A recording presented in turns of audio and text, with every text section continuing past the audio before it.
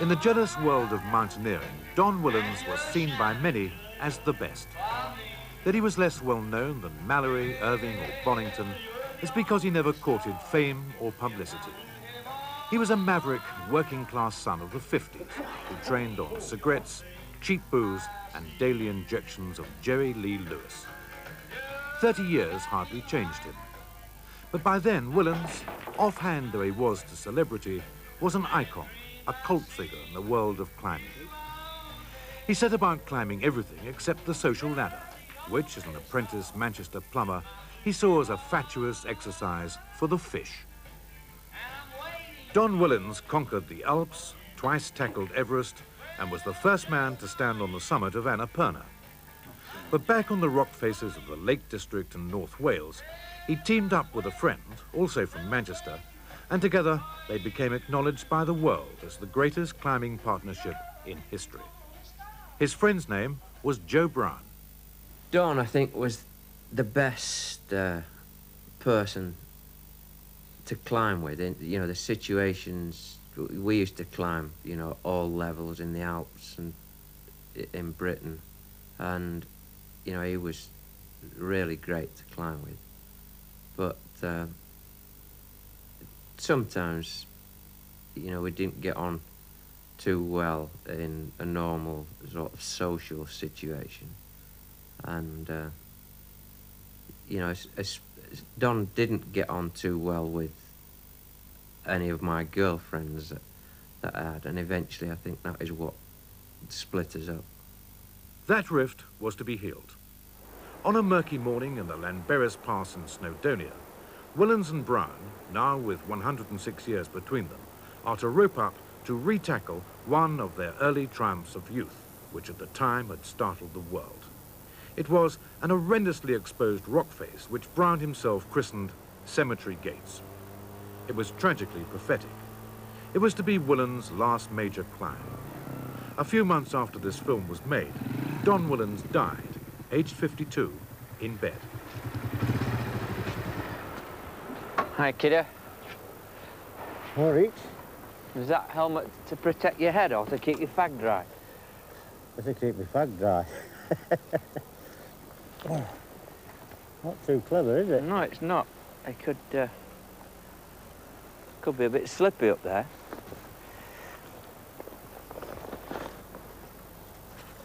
You not brought any gear, have you? Just a rope.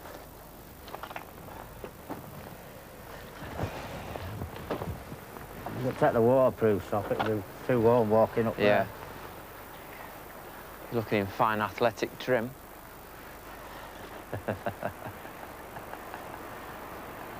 Very kind of you, but... Uh, Hey? very kind of you, but... Uh, I don't feel in very good athletic trim.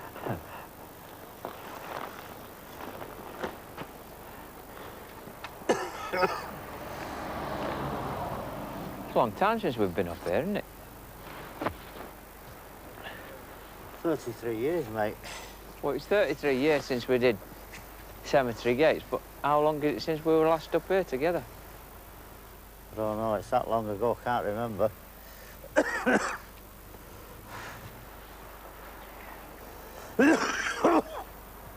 right. This particular climb that Joe and I are going to do was a climb that we did 33 years ago when I was 19. He's never done it since, he said. And I think I did it, I think I repeated it a year after, so it's 32 years. And this is going to be really hard for me because I'm 14 stone now. I was about nine stone then. And uh, I'm no stronger than I was then. So it's going to be an epic climb, but uh, a sort of trip up uh, a vertical memory lane, which if I'm going to do many more of them, uh, I'm going to have to fall in line with the rest of the lads, stop eating three big meals a day and drinking six pints a day, and uh, I'm going to have to get get myself into shape.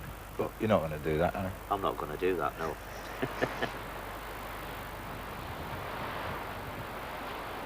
Actually, when I look back, and weigh it all up, the climbing was secondary to me to actually getting out into the hills, you know, getting out into the mountains. And uh, I suppose if you live long enough, you do a full circle. And what I'm at, the stage I'm at now is that uh, I'm not particularly interested in very hard rock climbs, and I'm not really interested in climbing to my absolute limit. You know, I don't want to feel that I'm being pushed. Whillans never wanted to be pushed. It was thus, with something approaching malicious enjoyment, that his early contemporaries awaited his call to the colours and the taming discipline of national service. And they were all rubbing their hands with glee at me going in. Oh, you'll be in the jankers all the time. Oh, all this. Anyway, I went for the medical and uh, got my grade card, and we used to meet in the YMCA in Manchester and sort out where we are going to go for the weekend. And uh, I walked in, showed me grade card. It said, grade three, you are not required for military service. And they're absolutely sick they were. They were sick all night. They've been having great fun at my expense, and there it was. I wasn't even going. and it's very interesting, the reason for it, wasn't, wasn't it?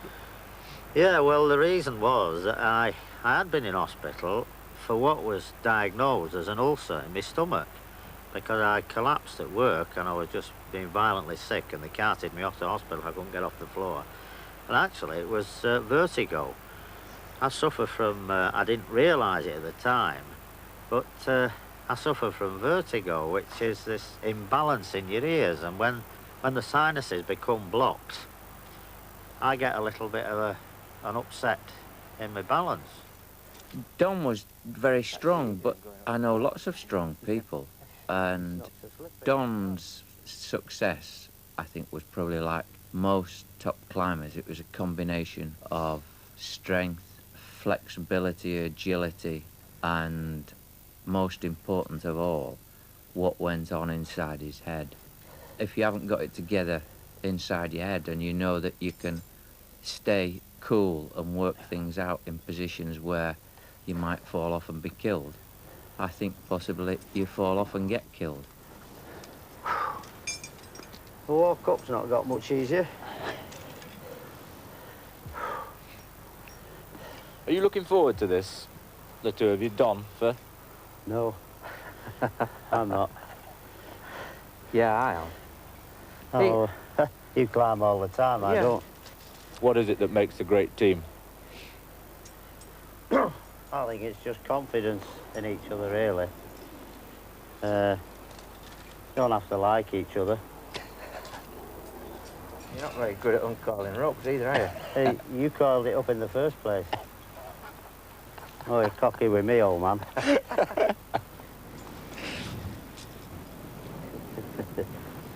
Don, how did it get its name, this climb? Well, uh, Joe came up with the name, and he saw it on a bus. Uh, you know, the uh, destination on the bus. And he said, uh, how about that for name of that climb, Cemetery Gate? So uh, that's, that's how he got the name. Not too imaginative, but uh, we're not very imaginative, are we? We're that unimaginative. I'm looking for the end of this rope.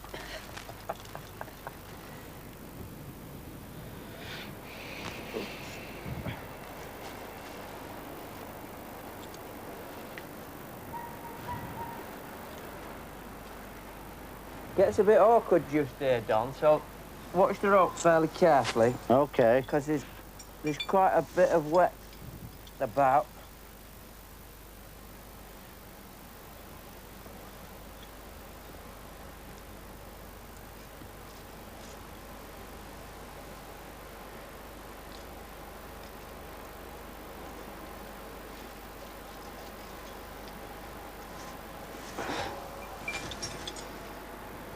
Is it wet in the crack? It's, it's wet in bits, you know, you can find dry spots. Better not go passing uh, runners, had I? Not good uns, no. good runners that are easy to take off. Yeah, I shall. I shall look after you as well as looking after me.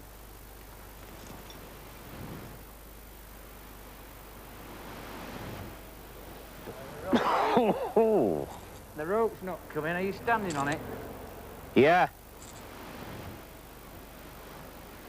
You want me to get off it? Yes, please. You're moving a bit too fast for me.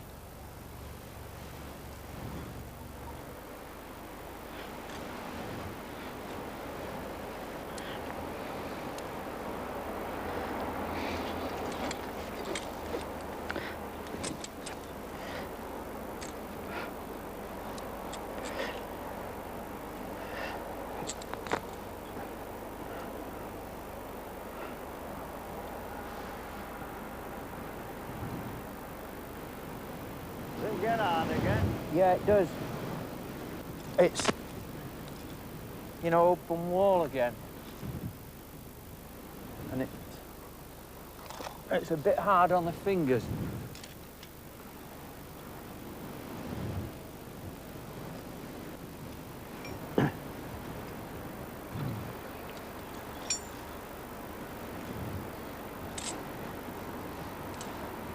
There's a nice crack.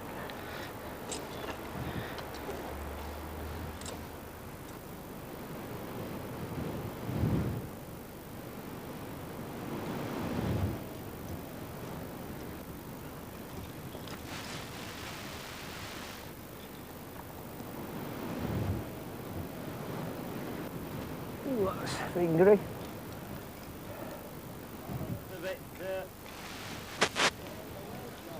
It was.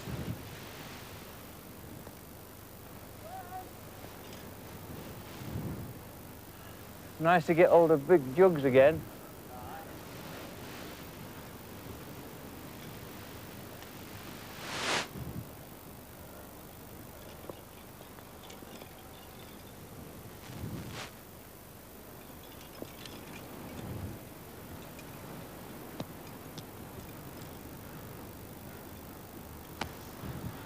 Bit of slack, Don. right. Are you going on now? Yeah.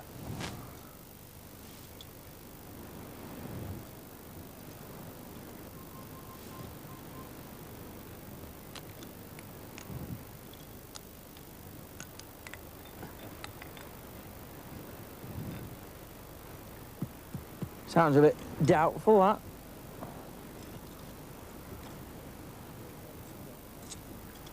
How are your fingers holding out? Oh, they're all right on this bit. It's just when you get onto the place where you're on the flat walls that it starts to feel it.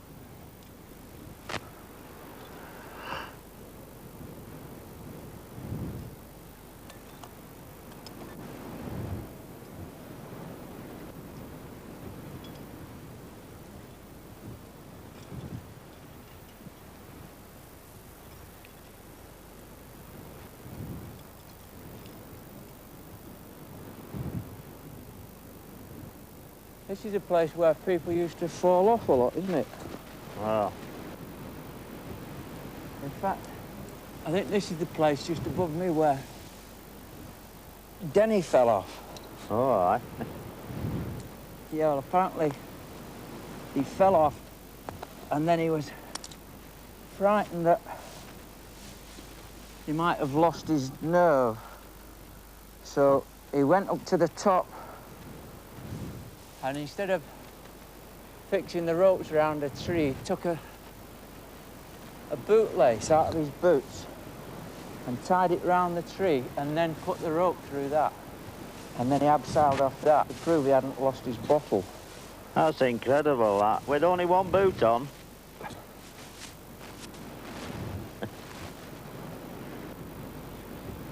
you at the bottom of the next hard move? Yeah, I'm just at what most people think of as the crux. I'll tell you whether it is in a minute. That's better.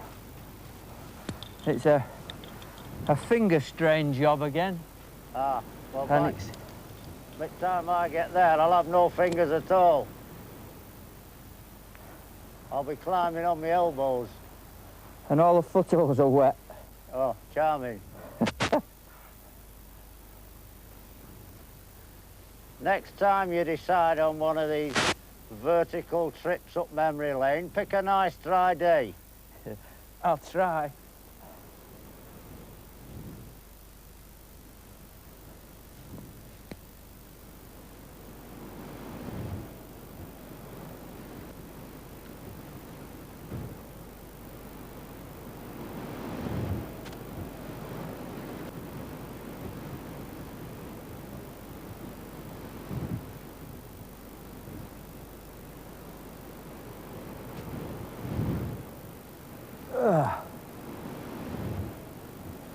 Over it? Yeah, Well done, lad. it's just a bit of bit of drag. Are you hanging on my rope? It No. feels like No, it's, it's it just... feels like 14 stone on that. Now, now you know how I feel all the time. Are you on this dance? Yeah. I shall be safe in about two minutes.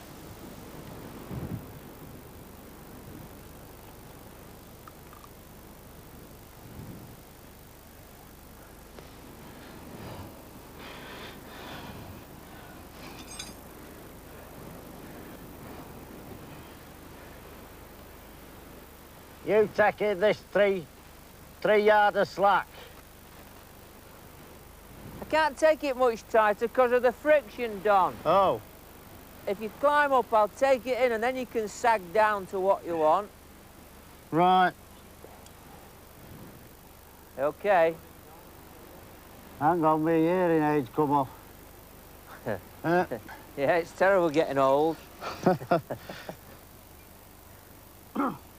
this is the hard bit, eh? Yeah, it's... It's not so bad if you get it sorted out right.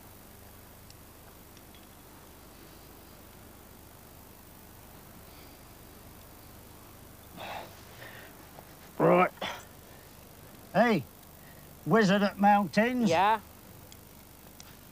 Work some magic and make me seven stone again. All right. How's that? Takes me back 33 years, that, mate.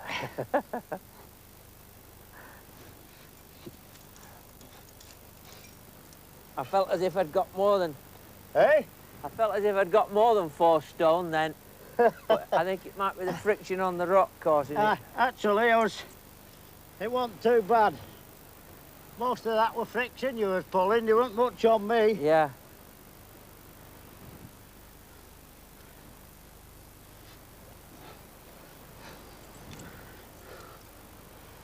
Right. So far, so good. The fella said when he fell off the 10th floor.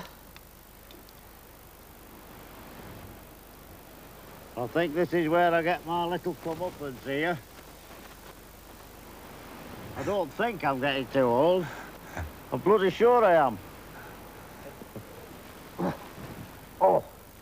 Hey, nice to get hold of that spike, mate.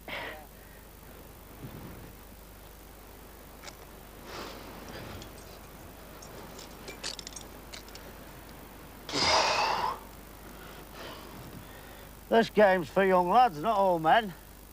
No, you're doing great. Whoa. Did you uh, bring a spare pair of fingers? Why? You need them? Yeah.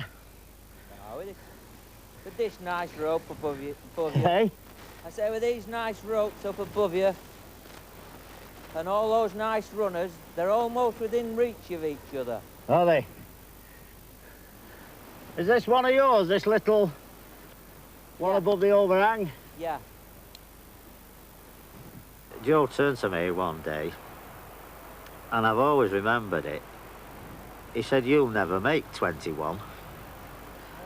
So I think I was about 18 then, and I, I puzzled on that remark because he must have thought that I was very necky.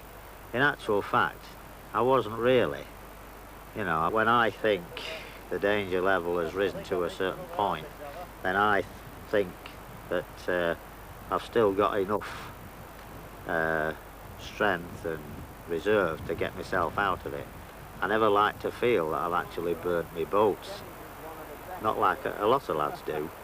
Fair play to them, they bowl, but I like to come back, because if you don't come back, it's end of story, isn't it?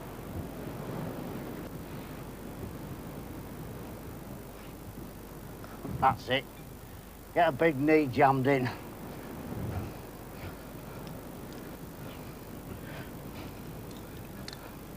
Fourteen stone, a fighting flab here. Right. Uh, strenuous, mate. I keep thinking uh, I'll make a move and get a rest. Got I all the next moves are hard. I'm afraid my uh, footwork leaves a lot to be desired. This is the hard bit, is it? Yeah, it's, well, it is the bit higher up. Although I, I don't think it's any harder than some of the bits down below. No. At least by the time you get here, you've had a bit of practice. Aye, by the time I get there, I'll just slack off a sec, Joe. Just pull in the... Uh, that's better. Uh, oh, you've got... You've got a few runners in here, haven't you? Yeah. Well, it- with that, there's some wet streaks there, and you're actually standing on wet holes. I don't know if it's still wet now, but uh, I thought it was a good place to make it secure. Yeah. But in fact, the, the handles are not bad.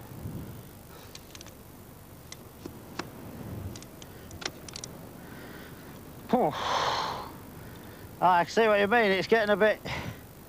Getting a bit naughty again.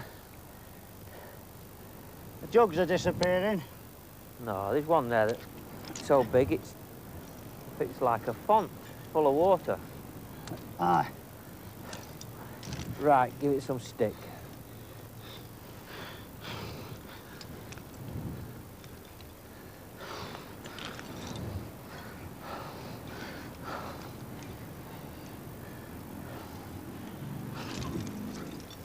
Good, good.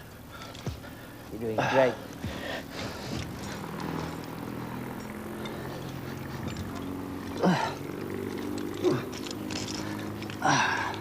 That's it. Come on, there. oh, see these grimaces? oh. Get your feet up. Stop stretching. Get your feet I'm feet up. trying to... You don't... You might help by telling where bloody handles are.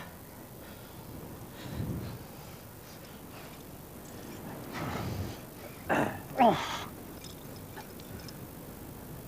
Piece it up. piece of duff. oh.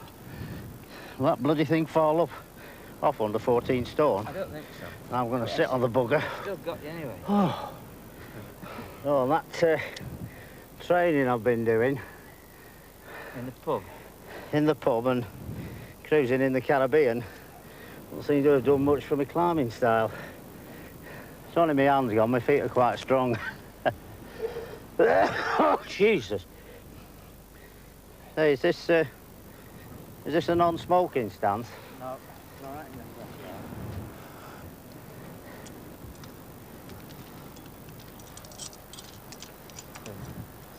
Have you enjoyed yourself, Don, up to To now? boost my courage. Me? Yeah. Don? Uh, aye, in a sort of twisted sort of way, aye. I think I did it. If I did it once or twice more, I might get to like it again. I have slight problems at the moment with the water.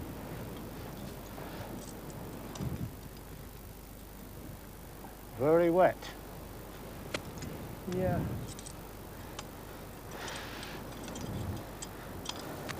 Alright, look, looks pretty bloody grueling.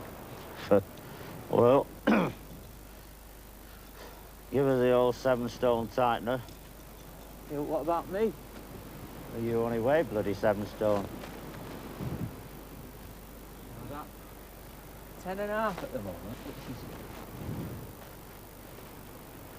which is too heavy for me. Ten and a half? Yeah.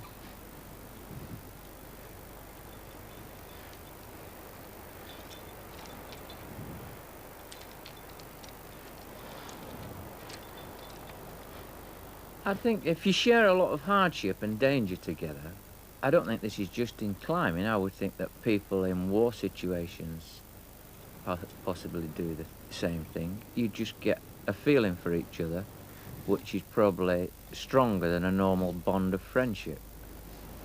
Right, I'm on the top now, Don. You can give me all the slack. Well done. Okay, Don. Take it. Take it in.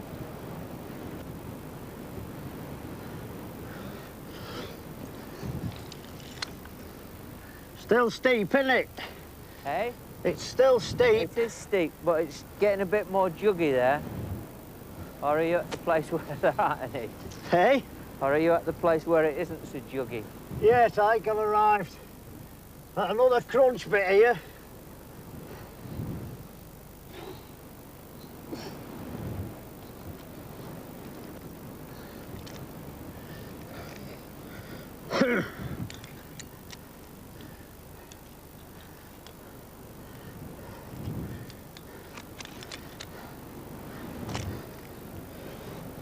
How am I doing?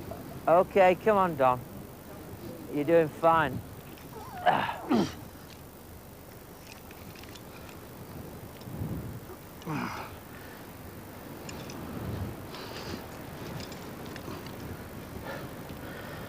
Oh, that's a welcome sight, that top jug. Yeah. Don, Yeah? can you remember? What about? Well, that was the place. My most vivid memory of this climb was arriving at that point and shouting to you that we'd cracked it, and you let out this terrific whoop of delight, Did I? which I've never heard you do since, and I never heard you do it before, which was perhaps an indication of how exciting this climb was when we first did it. Yeah. Yeah, funny enough, I, I don't remember that. But uh, I might let one out now. Yahoo!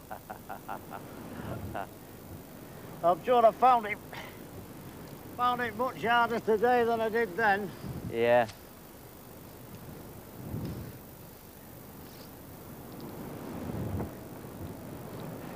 Okay, Don.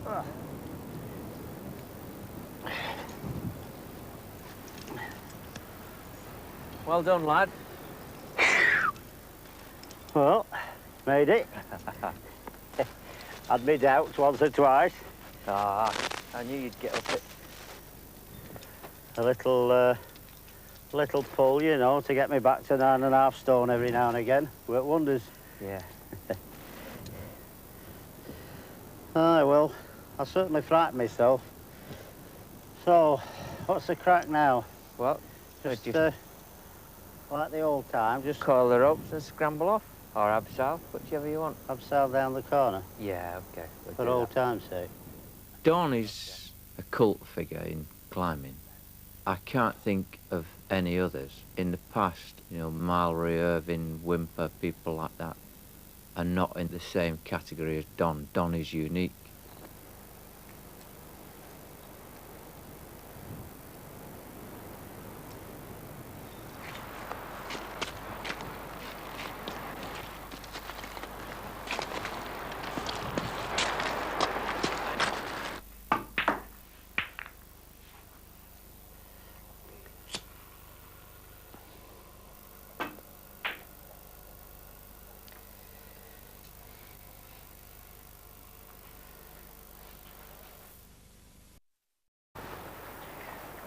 Looking in fine athletic trim.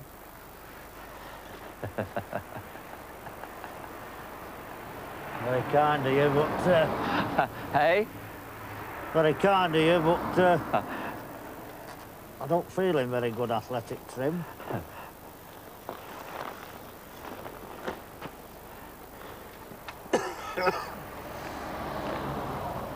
It's a long time since we've been up here, isn't it? Thirty-three years, mate. Well, it's 33 years since we did Cemetery Gates, but how long is it since we were last up here together? I don't know. It's that long ago. Can't remember.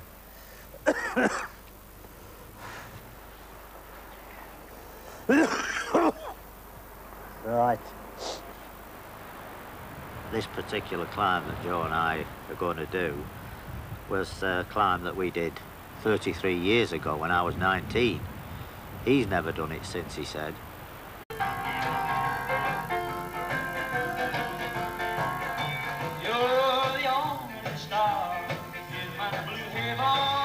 In the jealous world of mountaineering, Don Whillans was seen by many as the best.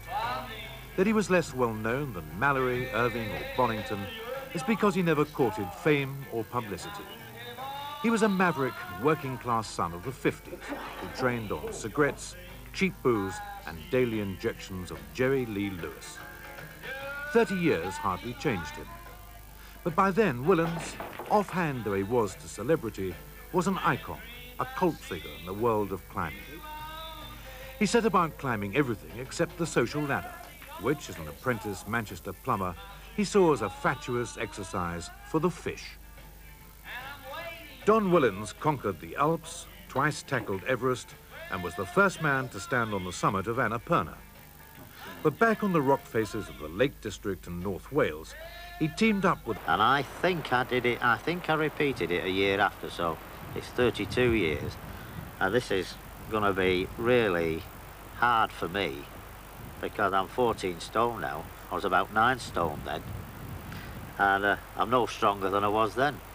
So it's going to be an epic climb, but uh, a sort of trip up uh, a vertical memory lane, which if I'm going to do many more of them, uh, I'm going to have to fall in line with the rest of the lads, stop eating three big meals a day and drinking six pints a day. And uh, I'm going to have to get get myself into shape. But you're not going to do that, are you? I'm not going to do that, no.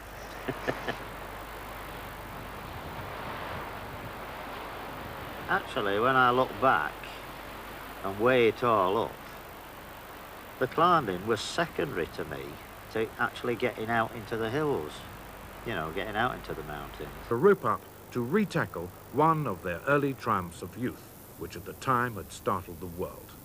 It was an horrendously exposed rock face which Brown himself christened Cemetery Gates. It was tragically prophetic. It was to be Whillans' last major climb. A few months after this film was made, Don Whillans died, aged 52, in bed. Hi, kiddo. All right. Is that helmet to protect your head or to keep your fag dry? To keep my fag dry. Not too clever, is it? No, it's not. It could, uh, could be a bit slippy up there.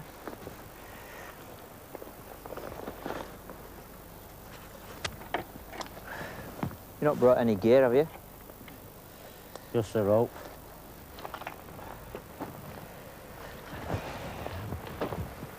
You'll take the waterproofs off, it'll be too warm walking up Yeah. The friend, also from Manchester, and together they became acknowledged by the world as the greatest climbing partnership in history.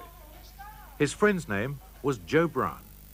Don, I think, was the best uh, person to climb with. In, you know, the situations we used to climb, you know, all levels in the Alps and in Britain, and you know, he was really great to climb with.